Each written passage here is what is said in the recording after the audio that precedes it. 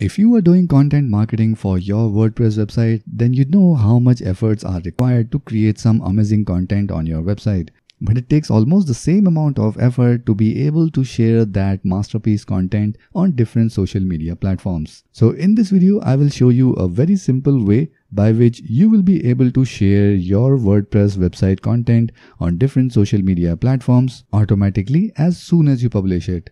So if that sounds interesting, then let's dive in.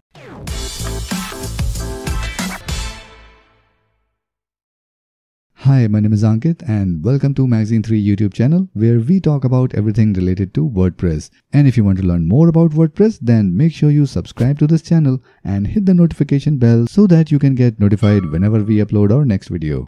Alright, so let's dive in in the WordPress backend and I'll show you everything step by step. So here we are in our WordPress dashboard. We have a fresh copy of WordPress and here we have installed a plugin called Jetpack. So if we go on Jetpack option here, it will load the dashboard of the Jetpack plugin. And we need to go to settings. And from here, you see we have an option for sharing. And the very first option is automatically share your post on social networks. So if we turn that on, so now once we have turned it on, we need to connect our social media accounts. So let's go ahead and connect our social media accounts and it will take us to the WordPress website where it do all its job.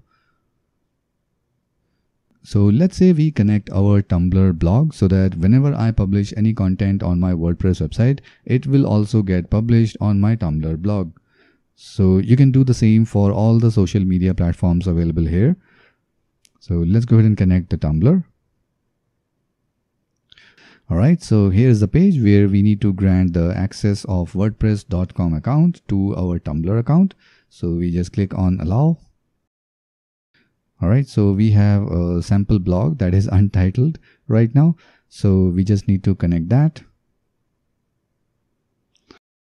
Alright, so now the Tumblr account is successfully connected. So whenever we will share a post on WordPress, it should be automatically shared on Tumblr as well as soon as we publish it on WordPress. So let's go back to our WordPress dashboard. And here in the post section, let's go ahead and add a sample post.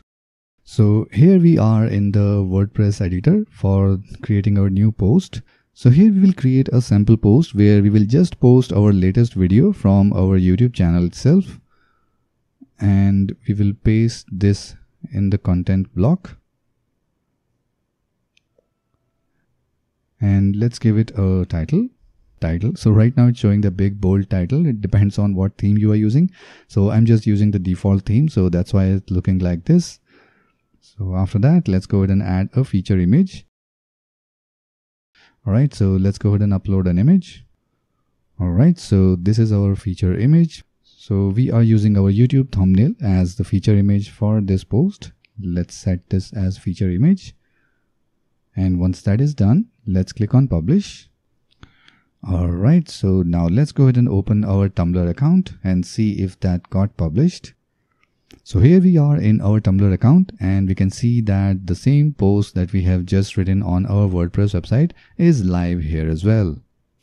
So in this way, you can connect more social media accounts and once you publish your content on your WordPress website, that will be pushed on all the connected social media accounts. So you don't have to invest any time in sharing your content on different social media websites. So that's it for this quick tutorial and if you like this video then make sure you hit the like button and subscribe to this channel if you want to learn more about Jetpack or WordPress in general. So that's it for this one and I'll see you in the next one.